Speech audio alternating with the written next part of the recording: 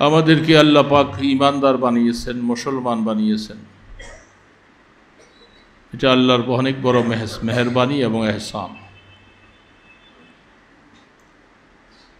মুসলমান হওয়ার জন্য, ইমানদার হওয়ার জন্য নিয়ত শর্ত, এরাদা লাগবে, ইচ্ছা লাগবে। ইচ্ছা না থাকলে আল্লাহ পাক জবরদস্তি করে, জোর করে কাউকে ইমানদার বানাবেন না। মানুষকে আল্লাহ পাক এখতিয়ার একটা শক্তি দিয়েছেন। মানুষ সব কিছু যেমন ভালো মন্দ বুঝে ইমানের ব্যাপারেও তাকে বুঝতে হবে। আমি আল্লাহ পাকের কাছে ইমান চাই কি না না চাইলে আল্লাহ জবরদস্তি করে কাউকে ইমানদার বানাবেন না। এই জন্য সারা পৃথিবীতে অগণিত অসংখ্য মানুষ ইমানদারের সংখ্যা কম।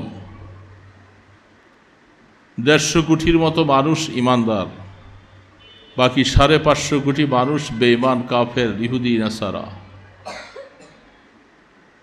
তারা সংখ্যায় বেশি হওয়ার কারণে আর আমরা সংখ্যায় কম হওয়ার কারণে তারা আমাদের উপরে নির্যাতন করে, জুলুম করে।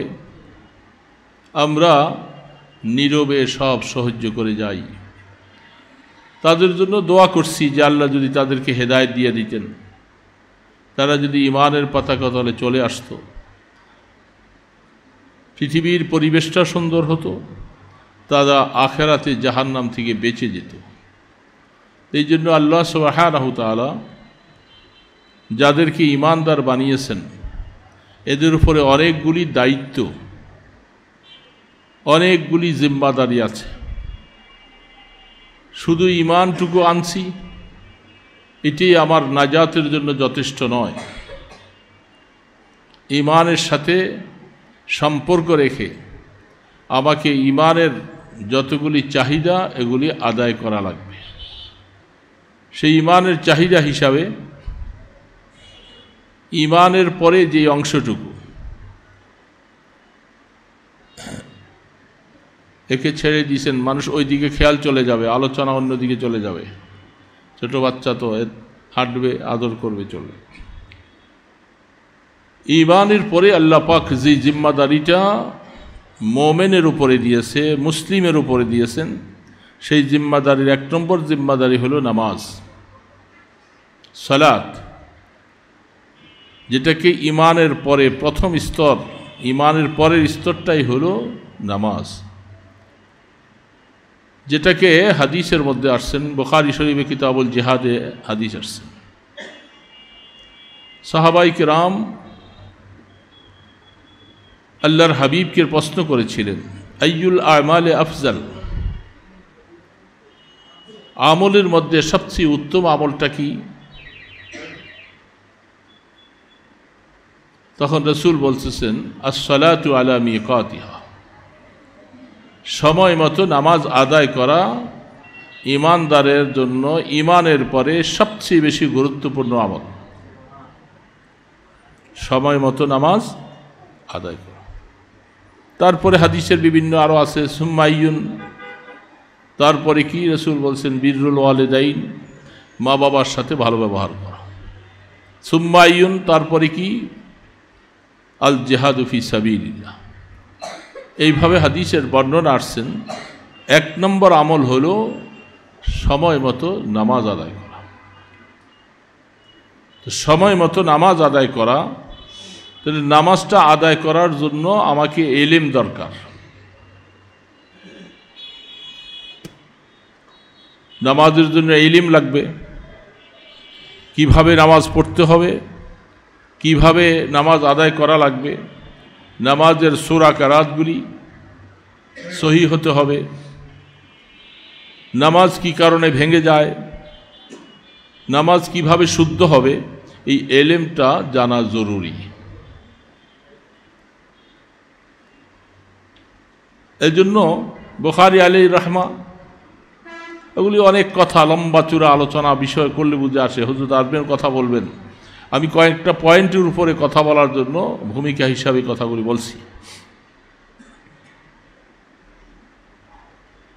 এর জন্য কিতাবুল ইমানের পরে কিতাবুল ইলিম বয়ান করা হয়েছে। যেহেতু ইমান এটা প্রথম জিনিস আখেরাতে নাজাত পাওয়ার জন্য ইমান শর্ত। ইমান অর্জন করার পরে তার উপরে জিম্মাদারি হলো নামাজ। আর নামাজটাকে যথাযথ আদায় করতে হলে তার ইলিম লাগবে। কীভাবে নামাজ আদায় করব, সহি হতে হবে। আর নামাজের জন্য পূর্ব শর্ত হল নামাজের মধ্যে কোরআন তেলাওয়াত জরুরি জিনিস। কোরআন তেলাওয়াত লাগবে না নামাজে? কোরআন তেলাওয়াত ছাড়া নামাজ হবে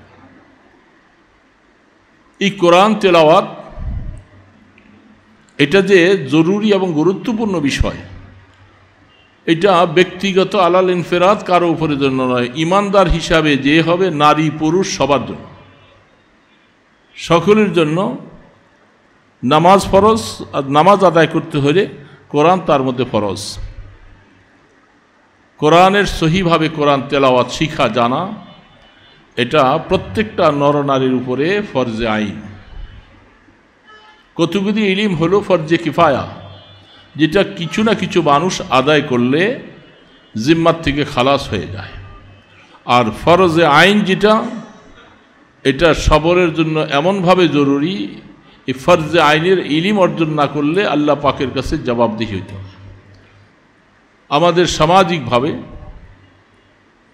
এখন বোঝা দরকার মুসলিম সন্তান যারা পৃথিবীতে আসছে এবং আসতেছে আসবে, সকলের জন্য নামাজ জরুরি। নামাজের মধ্যে কোরআন, তেলাওয়াত, শিক্ষা জরুরি। কি বলেন, জরুরি কি না? আমরা সামাজিকভাবে যারা আছি, বিভিন্ন অ্যাঙ্গেলে আমরা মুসলমান যারা আছি, মুষ্টিময় মানুষ যারা ছোটবেলায় কোরআন শিখছে, মক্তবে ওস্তাদের কাছে কোরআন শিখছে, নামাজ শিখেছে, এই লোকগুলি নামাজটাকে শুদ্ধভাবে আদায় করার জন্য সচেষ্ট এবং চেষ্টাও করে। যারা কোনো দিন কোনো মক্তবে, কোনো হুজুরের কাছে, কোনো নুরানি মাদ্রাসায় ছোটবেলায় কোরআন শিখে নাই, তাদের নামাজ শুদ্ধ হয় না। তাদের কোরআন ভুল, কোরআনের মধ্যে সহি হয় না। তো কোরআন যদি সহি না হয়, নামাজ বাতিল। নামাজের মধ্যে এক একটা অক্ষরের উচ্চারণ জানা লাগবে। উচ্চারণগুলির মধ্যে পাশাপাশি পার্থক্য করা লাগবে। সিনের সাথে যদি সায়ের সাথে মিলে যায়, সোয়াদের সাথে যদি আমার সিনের সাথে মিলে যায় আলহামদু বলতে যায় যদি হা আর হা, ছোট হা, দুইটা পার্থক্য না হয়, আমার নামাজ হবে না। নামাজ পড়তে হলে আমাকে একটা কফের উচ্চারণ আর একটা কাপ ছোটোভাবে তার উচ্চারণ প্রভেদ করতে হবে, পার্থক্য করতে হবে। যেমন, কুল হু আল্লাহ পাক বলতেছেন, তুমি বলো যে তোমার আল্লাহ এক। এখন সেখানে যদি কেউ কুল হু আল্লাহ বড় কাপের উচ্চারণটা সে করতে পারল না, শুধু কুল বলল। তাহলে অর্থ কি হবে? যেখানে এত বেশকম যে বেশকমের কারণে অর্থ পরিবর্তন হয়ে যাবে, নামাজ ফাসেদ হয়ে যাবে, নামাজ বাতিল হয়ে যাবে। এজন্য আল্লাহ সুবাহান মানুষকে কোরআনকে সহি করে আদায় করার জন্য আল্লাহর হাবিবের মাধ্যমে অদ্য অবধি পর্যন্ত সেই সিস্টেমটা, সেই নীতিমালাটা রাখছেন যে মুসলমান তুমি হওয়ার পরে তোমার দায়িত্ব হলো তুমি নামাজ শিখতে হবে, নামাজ পড়া লাগবে আর নামাজটা শিখার বিষয়, তার মধ্যে নামাজ সহি হইতে হবে, কেরাত সহি হইতে হবে, কোরআন শুদ্ধ লাগবে। কোরআন শুদ্ধ ছাড়া শুধু নামাজ পড়লেই নামাজ হবে না।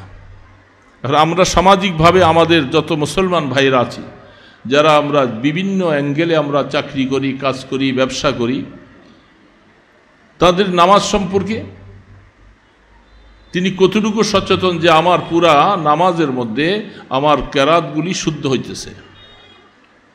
কি কারণে নামাজ ভেঙে যায়? কি কারণে অজু ভেঙে যায়?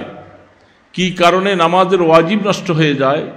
নামাজের ফরজগুলি কি? এগুলি সম্পর্কে আমাদের মুসলমান ভাই যারা এই যে রাস্তায় চলতেছি, মাইকের আওয়াজ শোনা যাচ্ছে। আমাদের সিএনজি স্টেশনে আছেন, পরিবহন সেক্টরে আছেন গার্মেন্ট সেক্টরে আছেন, বিভিন্নভাবে যারা আছেন, এরা তো মুসলমান, কি বলেন? মোমেন না? তাদের উপর কি নামাজ ফরজ না? তিনি কি কোনোদিন যাচাই করে দেখেছেন যে আমার নামাজটা, আমার সুরাগুলি কোরআন শরীফটুকু নামাজ পড়ার জন্য যতটুকু দরকার, এটুকু আমার শুদ্ধ হয় কি হয় না, উনি কি কোনোদিন যাচাই করেছেন? আমার তো মনে হয় না যাচাই করেছেন ছোটবেলার থেকে আস্তে আস্তে আস্তে করে একটু একটু করে বড় হয়ে গেছি। বড় হওয়ার পরে বিভিন্ন সেক্টরে আমি কাজ শুরু করলাম। রিজিকের তালাশে আমি মেহনত করতে শুরু করেছি। কখনো মসজিদে গিয়ে ইমাম সাহেবের পিছনে নামাজ পড়ি, আর যখন একা একই পড়ি তখন আমার নামাজটাকে আমি যাচাই করে দেখলাম না। নামাজটা আমার কি করে শুদ্ধ হচ্ছে কিনা? আপনাকে এই কথাটা জানার অধিকার কে আছে? আপনি যদি স্বয়ং নিজে যেয়ে যদি ধরা না দেন যে হুজুর আমার নামাজটা শুদ্ধ হয় কিনা? আমার সুরাটা, আমার কোরআন শরীরটা শুদ্ধ হয় কিনা একটু শোনেন। এই কথাটুকু যদি আপনি উইলিংলি যদি যায় যদি তার কাছে যায় না বলেন, সে আপনাকে ডেকে ডেকে এইভাবে কতক্ষণ শিখাবে? তাহলে বোঝা যাচ্ছে প্রত্যেকটা ইমানদারের জন্য নারী পুরুষ তলাবুল এলমে ফরিদাতুন আলা কুল্লি মুসলিম। প্রত্যেকটা মুসলিম নর নারীর জন্য এতটুকু এলিম অর্জন করা, যে এলিমের দ্বারা তার নামাজটা শুদ্ধ করতে হবে। আমি বেশি অন্যদিকে গেলাম না, যেহেতু ব্যাপারটা অনেক জটিল। এখন আমার বোঝা দরকার যে আমার সন্তান যারা আছে সে আমার সন্তানটা, আমার আদরের মায়ার।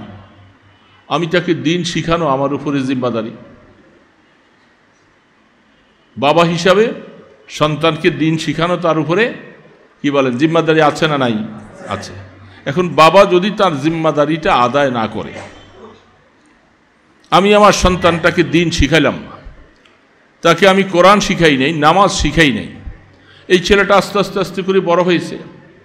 বড় হবার পরে সে বিভিন্ন কর্মসংস্থানে, বিভিন্ন সেক্টরে সে কাজে যোগদান করেছে। সে এখন কামাই রোজগার করে বিবাহসাদী করাইছে, নাতিপুতি হয়েছে। এখন তার নামাজ, আপনি এখন এই বয়সে তার নামাজের ব্যাপারে ট্রেনিং দিতে পারবেন না। তাকে এখন এই ব্যাপারে উদ্বুদ্ধ করতে পারবেন না। কারণ সে এখন বড় হয়ে গেছে। বাবা হয়ে গেছে। যার কারণে এই লোকটার শিক্ষার সময়টাই ছিল মেইন সময় ছিল ছোট বয়সে। যখন সেই বাচ্চাটা আপনার অধীনস্থ, আপনার বাবার সাথে চলাফেরা কথাবার্তা হিসাবে যখন সে চলে, তখনই তার মাঝে দিন দেওয়ার সবচেয়ে উপযুক্ত সময় ছিল। কি বলেন, ঠিক না? ওই সময়টা যদি আমরা কেউ গাফলতির সাথে কাটাই দিই, বেখবর অবস্থায় যদি কাটাই দিই, তাহলে সন্তান আস্তে আস্তে বড় হয়ে যাবে। যেই বয়সে গিয়ে তাকে আর এই ব্যাপারে রাগ করার কোনো সুযোগ নেই। তখন দিন শিখাবার কোনো সুযোগ নেই। তাহলে সে এমন অবস্থায় দুনিয়াতে হায়াত তার কাটালো, এই ছেলেটা তার নামাজ শুদ্ধ না। তার কেরাত শুদ্ধ না, নামাজ ভেঙে যাচ্ছে, কি অবস্থা? তখন সে অনেক সময় লজ্জায় সরমে, মসজিদে গেলেও আশপাশে তাকায়, মানুষ কেমনে নামাজ পড়ে? কীভাবে উঠা বসা করে? এটা ইমাম সাহেবের সাথে একটু উঠে বসা করল, কিন্তু একা একই যখন নামাজ পড়বে, তখন সে নামাজ কীভাবে পড়বে? তার নামাজ হবে না। তাহলে বোঝা যায় প্রত্যেকটা মুসলমান বাচ্চা ছেলেদের জন্য তাকে দিন শিখানো জরুরি। এই কারণে আমি ছোট্ট আয়াতটা তেলাওয়াত করেছি। আল্লাহ সুবাহান তালা আপনাকে আমাকে কি বলতেছেন? সুরে আর রহমান, এটা আমাদের অনেকের প্রসিদ্ধ একটা সুরা, জানা। কেন আল্লাহ পাক এইভাবে বললেন? আল্লাহ পাক সব কিছু আপনার থেকে, আমার থেকে অনেক ভালো জানেন। আর রহমান রহমান সম্পর্কে প্রশ্ন। কাফের মোর্শেকেরা বলে, মানির রহমান? রহমান কে? আমরা তো রহমান চিনি না। তাদের কাছে ইমান নাই। রহমান সম্পর্কে প্রশ্ন করা হচ্ছে। আল্লাহ সুবাহান ও তালা তার রহমান সম্পর্কে পরিচয় দিতে গিয়ে আল্লাহ পাকের কাছে কোরআনের আয়াতের অভাব ছিল না আরও অনেক অনেক শব্দ দিয়ে আল্লাহ পাক তার পরিচয়টা দিতে পারতেন। কিন্তু রহমান শব্দের পরিচয় দিতে গিয়ে আল্লাহ পাক সুরে আর রহমানের মধ্যে যে শব্দগুলি ব্যবহার করেছেন, এই শব্দগুলির প্রতি গবেষণা করা দরকার আমি মনে করব, প্রত্যেকটা ইমানদার মুসলমানের এটা গবেষণা করা দরকার। একেবারে রাষ্ট্রপতির থেকে নিয়ে আমাদের একজন সুইপার পর্যন্ত প্রত্যেকটা মুসলিম জাতি যে হবে, তার এই আল্লাহ পাকের কোরআনের, সুরে আর রহমানের এই সামান্য কয়েকটা আয়াতের প্রতি তাদের গবেষণা করা, এর নির্দেশনাকে নিজের জীবনে বাস্তবায়ন করা, রাষ্ট্রীয়ভাবে তা প্রতিষ্ঠিত করা সকলের জন্য জরুরি। কি বলছেন আল্লাহ পাক? রহমানের পরিচয়, রহমান বহু কঠিন একটা শব্দ আমরা অনেকে বিসমিল্লাহির রহমানির রহিম আছে না নাই? রহমান রহিম। রহমান আর রহিম, যে শব্দটা সম্পর্কে তফসির ওয়ালারা লেখেন, রহমান শব্দটা এমন একটা শব্দ, এটা অর্থটা ব্যাপক। এই জন্য রহমান শুধু একমাত্র আল্লাহর জন্যই খাস। কোনো মানুষের নাম রহমান হতে পারে না। মানুষ হবে আব্দুর রহমান।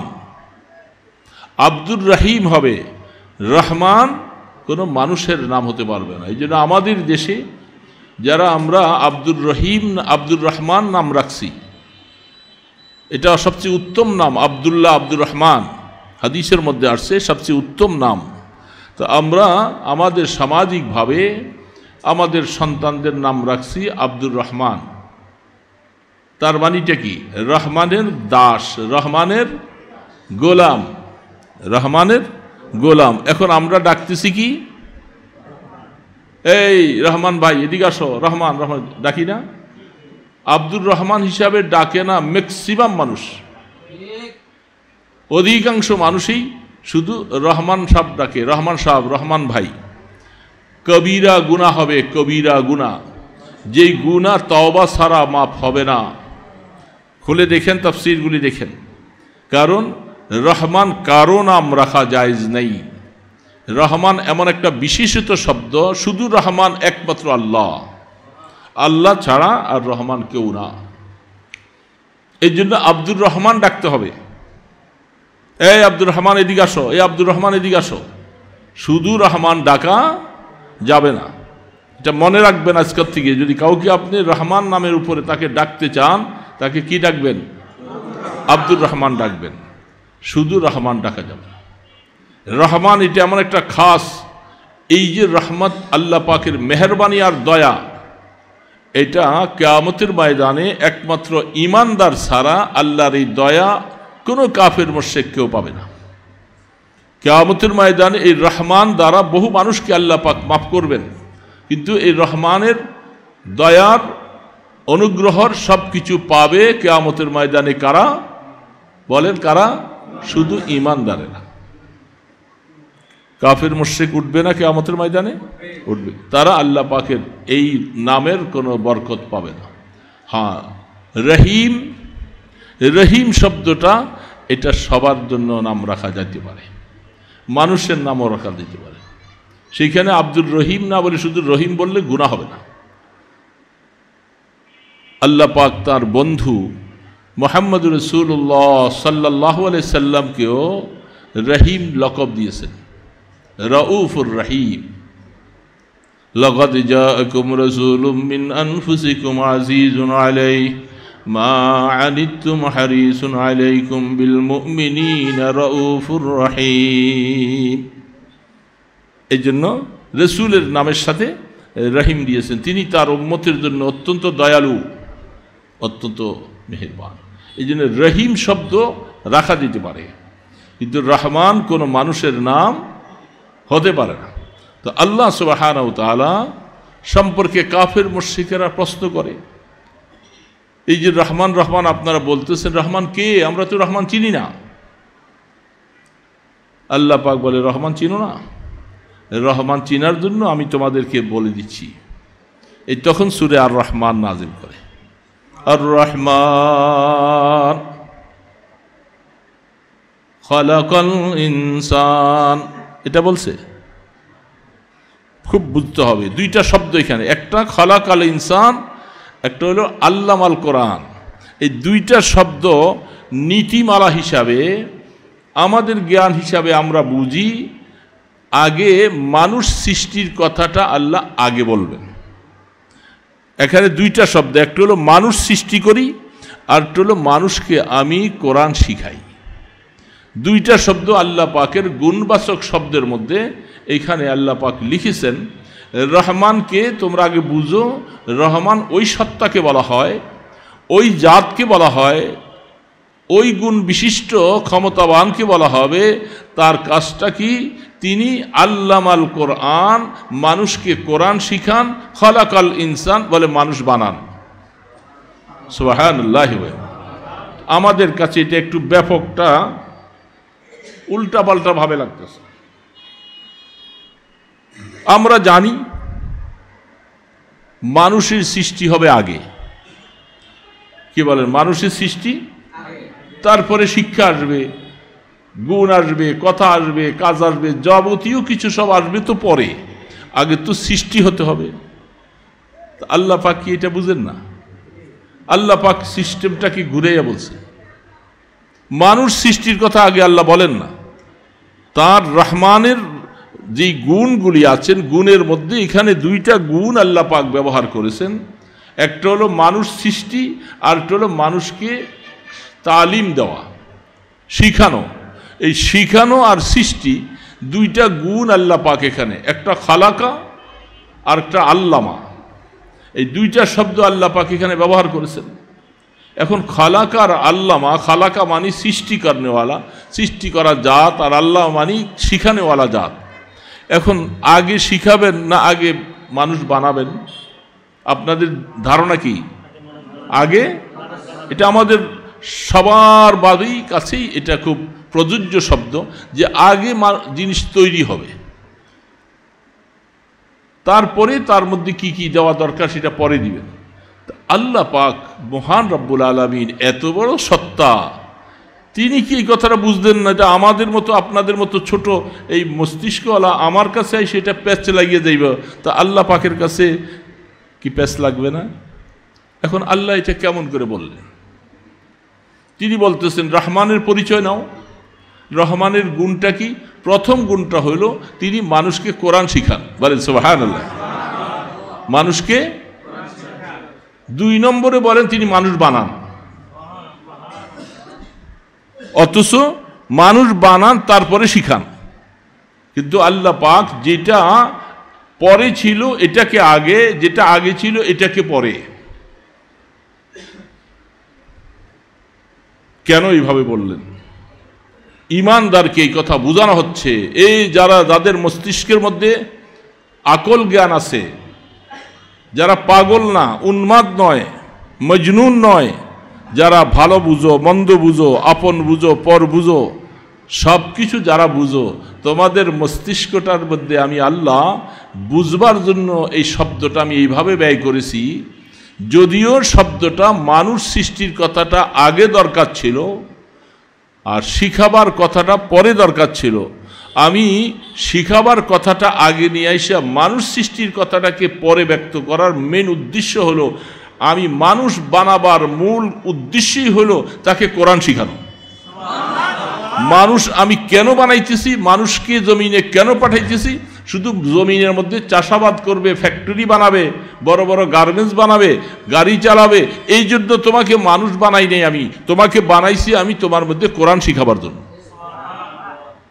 এই কথাটা বুঝাবার জন্য যেন তোমাদের জেহানটা যেন এইদিকে চলে আসে, যখনই আমি রহমানের পরিচয় আমি দিতে যাব, দেবার পরে যখন আমি আল্লামাল কোরআন বলব, তারপরে যখন খালাকাল ইনসান বলবে, তোমরা চিন্তা করবে হাই এটা কি, কেন আল্লাহ পাকিভাবে উল্টা বলতেছেন কেন?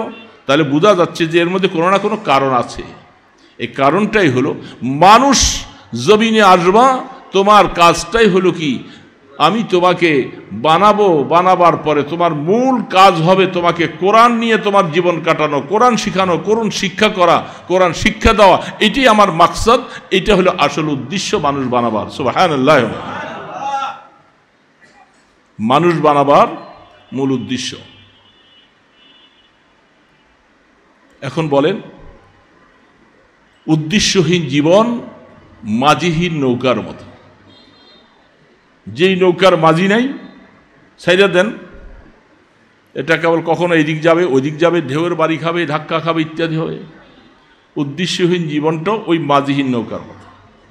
যে মানুষের জীবনের কোনো টার্গেট নাই, কোনো উদ্দেশ্য নাই, সে মাঝিহীন একটা নৌকার মতো। মানুষের জীবনের টার্গেট সারা উদ্দেশ্যহীন মানুষ থাকতে পারে না। প্রত্যেকটা মানুষের জীবনে একটা উদ্দেশ্য আছে। আল্লাহ পাক বলেন, আমি যে তোমাদেরকে বানাইছি, আমার একটা উদ্দেশ্য আছে না? আমি কি খামাখা তোমাদেরকে বানাইছি আবার হাসিবিতুম আন্নামা খলাকনাকুম আবাসা, ওয়া আন্নাকুম ইলাইনা লা তুরজাউন। তোমরা কি মনে করেছ আমি তোমাদেরকে খামাখা বানাইছি? অযথা বানাইছি? কোনো টার্গেট ছাড়া, কোনো উদ্দেশ্য ছাড়া? এইভাবে তোমাদেরকে বানাইছি? আর তোমরা আমার কাছে ফিরে আসবে না, এমনটা মনে করেছ? না, আমি তোমাদের আবস বানাইনি, আবস বানি বেহুদা। কোনো কাজে লাগে না। এই জন্য আমি তোমাদেরকে বানাই নেই। আমার একটা টার্গেট আছে। এই টার্গেটটা হলো তোমাদেরকে পৃথিবীতে পাঠাবার মূল টার্গেট হলো তোমরা কোরআন নিয়ে জীবন কাটাবা, কোরআন শিখবা, কোরআন তোমাদের পাতেও হবে, কোরআন তোমার গলার মালা হবে, কোরআনটাই ছাড়াই তোমার দুনিয়ার কোনো দাম নেই এক পয়সাও। কোরআন যার কাছে নেই, তার কোনো দাম নেই। এই জন্য আল্লাহ পাক এইভাবে বলছেন। মানুষ হিসাবে পৃথিবীতে তুমি আসবা আসার পরে তোমার মূল কাজই হবে তুমি কোরআন। কোরআন শিখো, কোরআনকে সিনায় ঢুকাও। কোরআন সারা কোরআনই একমাত্র ওহি। ওহির এলেম সারা কোনো মানুষের জীবনে পরিপূর্ণতা আসতে পারে না। পাঁচটা ইন্দ্রিয় মানুষের মধ্যে আছে। এই পাঁচটা ইন্দ্রিয় যথেষ্ট না। মানুষের চক্ষু, নাসিকা জবান, ত্বক, ব্রেন, এই পাঁচটা ইন্দ্রিয় দিয়ে মানুষ চলে। কিন্তু পাঁচটা ইন্দ্রিয় যথেষ্ট না আল্লাহ পর্যন্ত পৌঁছার জন্য। সেইখানে ওহির এলিম লাগবে। কবরে আজাব হয়, আপনি আপনার পঞ্চম ইন্দ্রিয় দিয়া ধরতে পারবেন? চোখ দিয়া দেখেন না, কানে শোনেন না, মুখে কথা বলতে পারেন না, হাতি স্পর্শ করতে পারেন না, ব্রেন খাটাইয়া মাথা শেষ। আজাবটা কেমনে হয়, কি হবে ইত্যাদি হবে কল্পনা করা যাবে না। যেখানে পঞ্চম ইন্দ্রিয় ফেল সেইখানে ওহির এলেম হবে প্রথম। ওহি ছাড়া কোনোদিন আপনি বুঝতে পারবেন না। এই জন্য ওহি হল মূল জিনিস। আর ওহির মূল কারণটা কি ওহিটা কি জিনিস? কোরআন। কোরআনটাই হলো ওহি কোরআন ছাড়া একজন মানুষের জীবনটা সঠিকভাবে পরিচালিত হতে পারে না। এই জন্য আল্লাহ সুবাহান তালা বলছেন, মূল কারণ হলো কোরআন। কোরআনকে সামনে রাখো। তাহলে কোরআন হলো তোমার জীবনের পাথেও এই জন্য হাদিসের মধ্যে আছে, মান জাআলাল কোরআন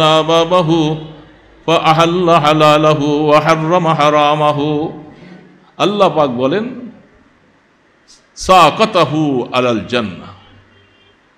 আল্লাহ সুবাহানাউ তাআলা, আল্লাহ রসুল বলেন, যারা কোরআনকে জীবনের সামনে রাখবে কোরআন তার জীবনের পাথেও বানাবে। কোরআন তার জন্য সুপারিশ করবে। কোরআন তাকে ধরে ধরে আল্লাহ জান্নাতে পৌঁছাবে। অমান জাহু খালফা জাহরিহি। আর যারা কোরআনকে পিছনে রাখছে তার মানে কোরআনের, কোরআন শিখে নাই, কোরআন মতো আমল করে নাই, কোরআনের জিন্দিগি বানায় নাই সা কথাহু নার। সে কোরআন তাকে ধাক্কা দিয়ে জাহান নামে ফেলে কোরআন। এই কোরআনটা এত বড় একটা গুরুত্বপূর্ণ একটা বিষয়, একটা সাবজেক্ট। কোরআনকে কোনোদিন পিছনে রাখার অবকাশ নেই। কোরআন সামনে থাকবে মানে কি? আমার জীবনের সব কিছুর মূলে থাকবে কোরআন। এখন যারা আমরা কোরআনটুকু শিখলাম না, আমাদের জীবনটা চলবে কেমনে? এখন আমি নামাজ জানি না। আমি কোরআনের সুরা জানি না। কি কারণে নামাজ ভেঙে যায়? আমি বুঝি না। আমি একটু ব্যবসা করব। ব্যবসার জন্য কোরআন আমাকে কীভাবে নির্দেশ করেছে? আমি সেটুকু শিখলাম না। আমি বিবাহ করব করব। বিবাহ উপরে কোরআনের কি নির্দেশ আছে সেটা আমি মানলাম না। আমি হজ করতে যাব, হজটার নীতিমালা আমি কোরআন থেকে নিলাম না। তাহলে আমার জীবনের কোনো একটা কাজই সঠিকভাবে আদায় হবে না। সব উল্টা হবে। কি নাই? তার সাথে কোরআন নাই। যখন কোরআন থাকবে না সেই কাজ সঠিকভাবে পরিচালিত হবে না। যতই আপনি ভালো মানুষ দাবি করেন, আপনার দাবি সুন্দর হবে না। কারণ একমাত্র রাস্তা দেখাইতে পারে সেই ক্ষমতা আছে কোরআনের। কোরআন ছাড়া আর কোথাও নাই। এখন যারা প্রত্যেকটা মুসলমান এবং হাদিশ্বরের মধ্যে আসছেন, একটা সন্তান বয়স যখন সাত বৎসর হয়, তাকে নামাজের আদেশ করো। কিসের আদেশ করো বাবা? তা আদেশ করলে তো হবে না, এই লোকটা আবার এই বয়সে নামাজ শিখতে হবে না। তা সাত বছর বয়সে একটা মানুষকে নামাজ শিখাই দিতে হবে। যখন দশ বৎসর হয়ে যায়, নামাজ না পড়লে তাকে দুই একটা শাস্তিও দাও, তারপরে তার দ্বারা নামাজ আদায় করাও। তাহলে বাবার জন্য জরুরি, মুরু সিরিয়ানাকুম ইজা বালাগু সাবা আসার তোমার সন্তান যখন সাত বৎসর বয়স হয়ে যায় তখন তাকে নামাজের হুকুম করো, নামাজের আদেশ করো। এখন সাত বৎসর বয়সে এই নির্দেশটা কাকে করলেন? হাদিসে আল্লাহ রসুল কাকে করছেন? বাবাকে, মাকে। মাকে না বললেও চলে, কারণ বাবাকেই, কারণ একটা সন্তানের লালন পালনের মূল দায়িত্ব জিম্মাদারি কার উপরে? বাবার উপরে। বলেন না, কার উপরে। বাবার উপরে। এখন মুরু আউলাদাকুম, তোমার সন্তানকে তুমি নামাজ শিখাও? এই নির্দেশটা কাকে করছে বলেন? কাকে করছে? বুঝতেছেন তো বাবারা, বুঝতেছেন তো?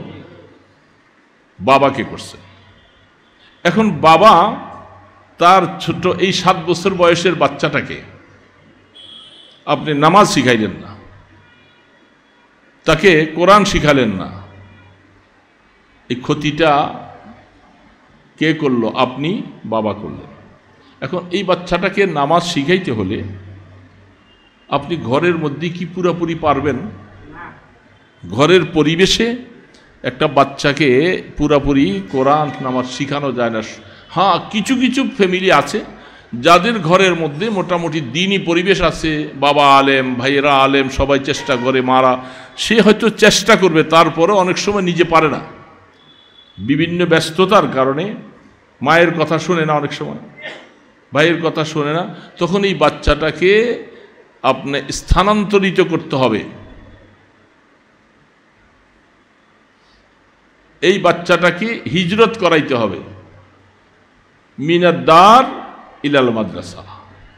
আপনার ঘর থেকে মাদ্রাসায় হিজরত করাইতে হবে। হিজরতের অনেক অর্থ আছে। ঘর থেকে তাকে হিজরত করাইয়া স্থানান্তরিত করে তাকে মক্তবে, মাদ্রাসায় নুরানিতে দিতে হবে। ঠিক না? আমাদের দেশে, আপনাদের দেশে, সকল দেশে অনেক জায়গায় ধানের চারা বুনে। আছে না নাই? একটা বীজতলার মধ্যে অনেকগুলি বীজ বপন করে অনেকগুলি ধান রাখে। আচ্ছা এই বীজতলার মধ্যেই কি ধানগুলার ধানের চারাগুলি রাইখা ধান খায়, ধান পাওয়ার আশা? বুদ্ধিমান কৃষক কি করবে?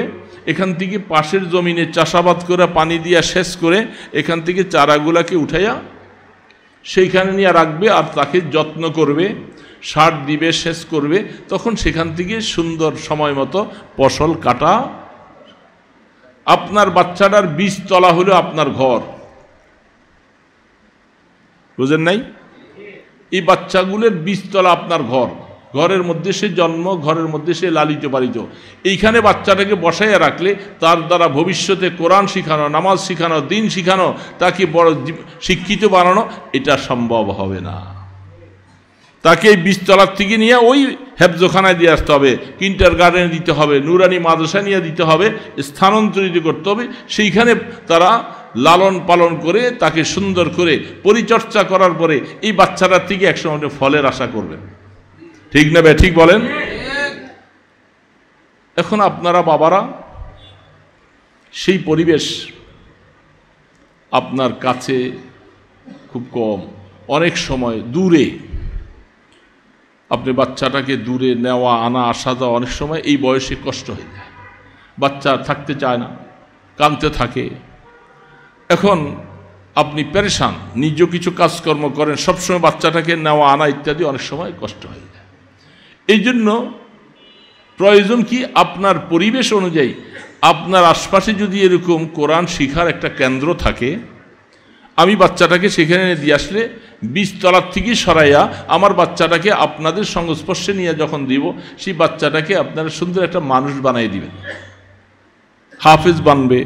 আলেম বনবে, সহি করে কোরআন শিখবে, নামাজটা শিখবে, তখন এই বাচ্চাগুলোকে এইভাবে করে আপনার কাছে যখন দিবে, এই বাচ্চা যখন নিজে বড় হয়ে যাবে, তখন আল্লাহ রসুল যে বলছিলেন ওয়াদ রিবু হুইজা বালাগা আসার যখন এই বাচ্চাটা বয়স যখন দশ হয়ে যাবে, এখন যখন সে নামাজ পড়বে না, তার উপর একটু শক্তি, একটু দুই একটা হালকা ব্যাদ দিয়া, একটু কর্কশ বাক্য বলে হলো, তাকে নামাজ পড়ার দায়িত্ব আপনার বাবার।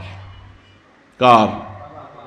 যদি দায়িত্বটা আদায় না করি, রসুলের নির্দেশ আমার উপরে আসছিল, আমি আল্লাহ পাকের এই আদেশকে বরখেলাপ করেছি। এখন এই শাস্তিটা যদি বাচ্চাটা যদি নষ্ট হয়ে যায় সেই যদি বেনামাজি হয়ে যায়, জাহান্নামের দিকে যাওয়া শুরু করে, তার জীবনটা যখন চরিত্রহীন হয়ে যাবে, এর পানিশমেন্টটা শুধু বাচ্চাটাই পাবে না আমিও পাবো? বলেন বাবা, আপনি পাবেন কি পাবেন না? আপনার জিম্মাদারি কি করছেন? আপনি আদায় করেন। এখন আসেন। জিম্মাদারি আদায় করতে হলে আপনি অনেক সময় একা একই এরকম একটা মক্তব, মাদ্রাসা, নুরানি, কিন্টার গার্ডেন, হ্যাবজোখান একটা মাদ্রাসা একা একই আপনি করতে পারবেন না।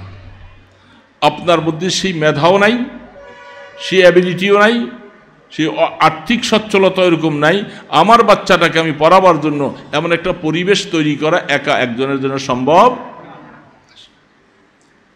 এখন আসে আল্লাহ পাক কি বলতেছে? আল্লাহ পাক বলতেছে, ফালাউলা নাফারা মিন কুল্লি ফিরকাতিন মিনহুম তাইফাতুন লিয়াতাফাক্কাহু ফিদ-দীন ولينظروا قومهم إذا رجعوا لعلهم يحذرون আল্লাহ সুবাহান তালা বলতেছে এ প্রত্যেক এলাকার থেকে তোমরা কিছু এলেম শিখনেওয়ালা হও কোরআন শিখনেওয়ালা হও গভীরতার সাথে কোরআন হাদিস তোমরা শিখো শিখার পরে তোমার দায়িত্ব ওয়ালিয়ানজুরু কৌমাহুম তুমি যে এলাকার থেকে গিয়ে কোরআন এবং হাদিস শিখলা, সেই এলাকার মধ্যে তোমাকে ছাড়া তোমার ভাই, বন্ধু, চাচা, বাতিজা, মামা, খালা আশপাশে তোমার অনেকগুলি কৌম আছে। কৌম আছে না নাই? কৌম বুঝছেন তো আল্লাহ পাকের ভাষা? ওয়ালিয়ানজুরু কৌমাহুম আল্লাহ পাক বলছে, তোমার কৌমকে তুমি ভয় দেখাও। ভয় দেখানো মানি তার মানি পিটাইতে বলছে। আল্লাহ পাকের কোরআন এত সুন্দর। নজির আল্লাহ পাক তার বন্ধুর জন্য বলছেন বাসির নজির বন্ধুর জন্য দুইটা টাইটেল ব্যাস করছেন। আমার বন্ধু, তিনি তার ওম্মতকে সুসংবাদও শোনাবে, ভয় প্রদর্শন করাবে। এই ভয় প্রদর্শন করার সিস্টেমটা চোরকে যেরকম পিটানো হয়, এরকম না। হাইজাক্কার সন্ত্রাসীকে যেইভাবে ভয় দেখানো হয়, পিটানো হয়, ওইভাবে নয়। আল্লাহ রসুল তার উম্মতকে ভয় দেখাবে, মায়ার সাথে, মহব্বতের সাথে ভয় দেখাবে। ভাই, এটা যদি তুমি না করো, আল্লাহ পাক নারাজ হবেন, শাস্তি দিবে জাহান নামে জলা লাগবে। এইভাবে তাকে মহব্বতের সাথে ভয় দেখাইয়া তাকে দিনের দিকে আগাবে। এটা হলো নজির। এখন আল্লাহ সুবাহান তালা আপনার এলাকার একজন আলেম তাকে বলছে, এই, তোমরা সবলেই মূর্খ থাইকো না, কিছু আলেম হও। এলাকার থেকে সকলে প্রয়োজন বোধে না পাইলে চাঁদা দিয়া হলেও, খরচ দিয়া হলেও তুমি একজন আলেম বানাও, একজন মুফতি মহাদ্দেশ বানাও। বানাবার পরে তার কি কাজ? সে সুন্দরভাবে ফাকাহাত অর্জন করবে, ইলিম হাসিল করবে, খুব গভীরতার সাথে অর্জন করে তার মূল দায়িত্ব। সে ওই এলিম হাসিল করে শুধু বসে থাকবে না। ইদা যখন তুমি দিন হাসিল করবে, এলিম হাসিল করবে। রসুল করিম সাল্লাহ আলি সাল্লামের সাথে জেহাদের ময়দানে সবাই যেতে চাইছে। আল্লাহ পাক বলতে সবাই চলে গেলে তো মদিনা খালি পড়ে যাবে। কিছু এখানে থাকবে আর কিছু আপনার সাথে তারা শরিক হবে। আপনার সাথে থাইকা থাইকা যারা দিন শিখবে, এরা যখন আবার বাড়িতে চলে আসবে, আইসা যারা যেতে পারে নাই, এদেরকে দিন শিখাইবা। তাহলে আলেম, যিনি আলেম, এলিম অর্জন করার পরে উনি সৌদি আরব চলে যাবে না। উনি চীন, জাপান, ব্রিটেন যাবে না। যেই কওমের থেকে গিয়ে তিনি এলেম শিখছে সেই কওমের কাছে উনি জাত করবে সেই কওমের কাছে ফিরে আসবে। ফিরে আইসা এই এলাকার যে সমস্ত মানুষগুলি যারা দিন শিখতে পারল না, যারা কোরআন শিখতে পারল না, তাদের সবাইদেরকে দিন আর কোরআন শিখাইবা কীভাবে? মায়ার সাথে। এখন মায়ার সাথে শিখাইতে যাইয়া, ঘড়ির টাইম দেখেন কয়টা হয়েছে হ্যাঁ? আচ্ছা আচ্ছা ঠিক আছে। এখন এই লোকগুলার সামনে যখন তিনি আইসা আপনাকে দিন শিখাবে মায়ার সাথে এই লোকটা দিন শিখাইতে আইসা চিন্তা করলেন, আমার এলাকায় তো বাচ্চাদেরকে কোরআন শিখাবার জন্য, দিন শিখাবার জন্য সেই ব্যবস্থাপনা নাই, আমি একা তো পারব না। তখন আপনাদের মতো কিছু দিনদার বুদ্ধিওয়ালা মুসলমানদেরকে সাথে নিয়ে বলে, আসেন, আমরা একটা নুরানি মাদ্রাসা করি। কি, ঠিক না ঠিক বলেন? আসেন, আমরা একটা নুরানি মাদ্রাসা করি। এই আমাদের বাচ্চাগুলি যেন এখানে এসে তারা দিন শিখতে পারে। একটা নুরানি মাদ্রাসা শিখ করে, একটা হ্যাবজোখানা একটা কিন্টার গার্ডেন এইভাবে করে সেখানে মুসলমানের সন্তানকে দিন শেখাবার জন্য তখন ওই হুজুর তার দায়িত্ব আদায় করে। কারণ তার উপরে দায়িত্ব আল্লাহ দিয়েছে। যে তুমি কোরআন শিখবা, নিজে শুধু জান্নাতে যাইবা, এই ফিকির করলে চলবে না। এলাকার সকলকে জাহান্নামের ভয় দেখাইয়া তাদেরকে দিন শিখাও, কোরআন শিখাও। এই জন্য তারা কি করে? এলাকার ওলামাই কারাম যারা দিন শিখছে, আপনাদের মতো নেককার দিনদারদেরকে সাথে নিয়া তখন আইসা বলে যে, ভাই, আসেন, আমরা একটু জায়গা কিনি অথবা একটা ভাড়া বাড়িতে। আমরা একটা নুরানি মাদ্রাসা, একটা কিন্টার গার্ডেন একটা হ্যাবজোখানা তৈরি করি। কি? দায়িত্ব আদায় করে কি করে না? এখন হুজুর যে দায়িত্বটা আদায় করলেন, দায়িত্বটা কে দিছে বলেন তো? কে দিছেন? অলিয়ান্দুরো কৌমাহ যেহেতু আল্লাহ পাক বলতেছে, তুমি তোমার কওমকে আখেরাতমুখী বানাতে হবে, এটার দায়িত্ব তোমার, তুমি আলেম শিখাইছো। এখন আলেম, উনি ওনার দায়িত্ব আদায় করতেছে। এখন দায়িত্ব আদায় করতে যাইয়া আপনারা এখন যারা কিছু কিছু মানুষ